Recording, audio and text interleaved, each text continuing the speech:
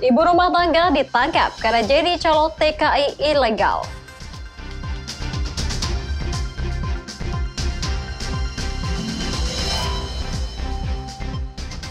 Gubernur Jawa Tengah buka Jambore Linmas.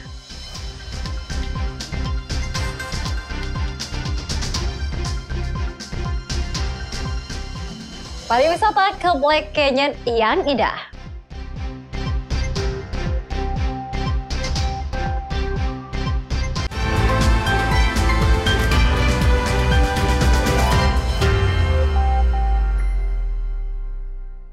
Ya saudara, selamat pagi, apa kabar Anda? Senang sekali Kompas Pekalongan kembali hadir dengan beragam informasi penting dan menarik, baik dari dalam kota Pekalongan maupun sekitarnya.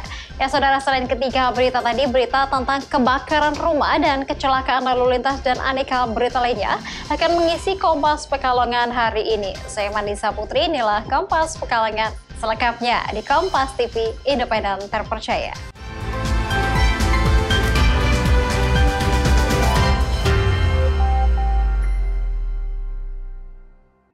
Ya baik saudara kita awali informasi hari ini dengan seorang ibu rumah tangga di Kabupaten Brebes harus berurusan dengan polisi karena turut serta terlibat dalam perekrutan calon tenaga kerja Indonesia atau TKI. Akibat dari perbuatannya tersebut kini terpaksa harus mendekam di penjara. Modus pelaku menawarkan calon korbannya memberikan pekerjaan di luar negeri dengan upah yang cukup besar. Ida Zaroda, ibu rumah tangga berusia 51 tahun, warga desa Prapa Kidul, Kecamatan Losari, Kabupaten Brebes, Rabu siang lalu terpaksa harus menginap di sel tahanan Mapolres Brebes. Ida ditangkap polisi karena diduga turut serta dalam perekrutan TKI ilegal yang tidak sesuai dengan prosedur. Di mana Ida terlibat perekrutan TKI yang akan diberangkatkan ke negara Abu Dhabi, Uni Emirat Arab. Tersangka mengaku jika dirinya hanya bertugas mencari warga yang mau diberangkatkan bekerja di luar negeri. Di hadapan petugas, Ida mengaku setiap TKI yang direkrutnya, dirinya mendapatkan upah dari penyalur tenaga kerja sebesar 4 juta rupiah. Enggak, enggak ditarik, malah dianya dapat duit. dapat duit. Iya. Nah terus kenapa sampai ibu dilaporkan? Ya nggak tahu, pokoknya dia yang maunya sendiri mau berangkat, saya kan nggak ngerti berangkatnya. Ngar- Nggak ngerti ya, saya berangkatin, saya serahkan sama kamu tadi. Ibu Dia- cara ngerekrutnya gimana Bu? Saya cuma gini aja, kalau orang mau berangkat dia datang sendiri ke rumah saya, mau berangkat ke Abu Dhabi karena dia nggak nggak bisa belajar, nggak bisa apa. Yang penting dianya itu kepengennya berangkat dapat uang pi udah terus di sana kerja. Terus, Terus- orang yang daftar suruh nyiapin duit apa enggak? Enggak, boro-boro malah dianya dapat duit, orang tuanya dapat duit, suaminya dapat duit. Tersangka ini kebetulan sebagai pelaksana lapangan. Pelaksana lapangan di mana dia merekrut daripada uh, TKI, TKW TKW yang akan berangkat ke luar negeri sebagai tenaga kerja Indonesia. Kalau korbannya sudah ada berapa? berapa ya dimintain berapa? Uang yang dimintain di sana sekitar 5 juta rupiah dengan persyaratan yang kemudian sudah mereka tentukan. Pada saat itu yang bersangkutan ini menyerahkan kepada uh, calon TKI ini kepada seseorang berinisial M yang akan segera kami lakukan penangkapan terhadap bersangkutan.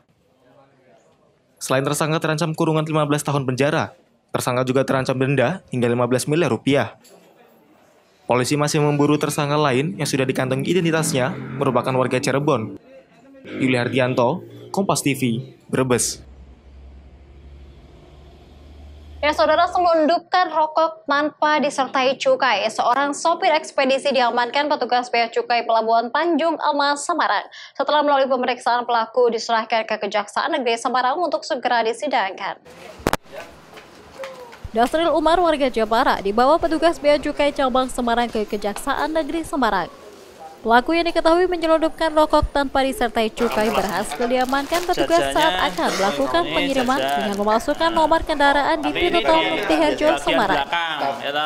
Pelaku yang sudah melalui pemeriksaan di kantor bea cukai Semarang kemudian dilimpahkan ke Kejaksaan Negeri Semarang untuk segera dilakukan penindakan. Kepala Seksi Penindakan dan Penyidikan mengaku pihaknya sudah melakukan penyidikan terhadap pelaku dan saat ini masih memburu produsen rokok yang diketahui di daerah Jepara.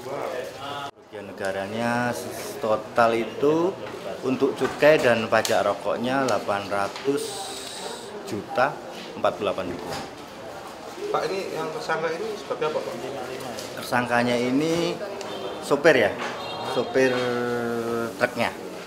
Oke. supir truknya. Pemilik ini belum Pemiliknya lagi kita cari, statusnya DPO sampai sekarang.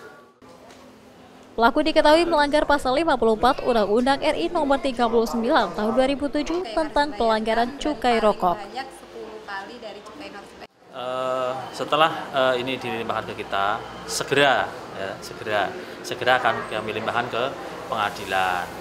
Ya, pengadilan eh, karena dasar ini disangkakan, nah, sementara disangkakan itu pasal 54 eh, Undang-Undang Republik Indonesia nomor 39 tahun 2007 junto pasal 55 ayat 1 ke 1. Jadi turut serta.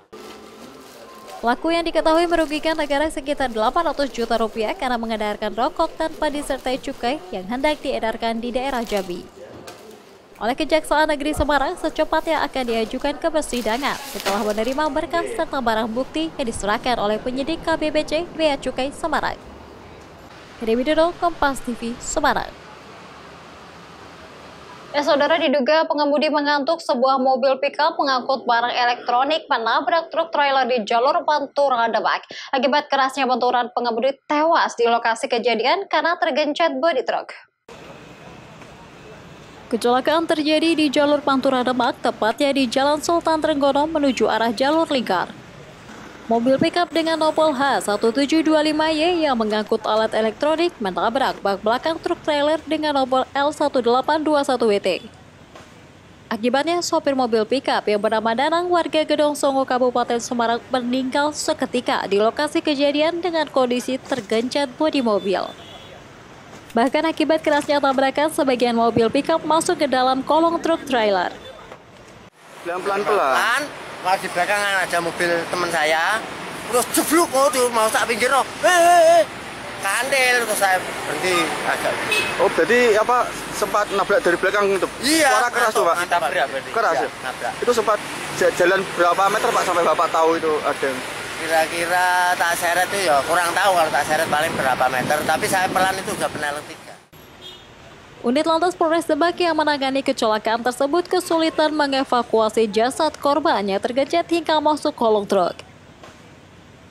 Proses evakuasi korban yang tergencet bodi mobil pickup yang ringsek memakan waktu yang cukup lama karena bagian depan mobil masuk ke dalam kolong truk.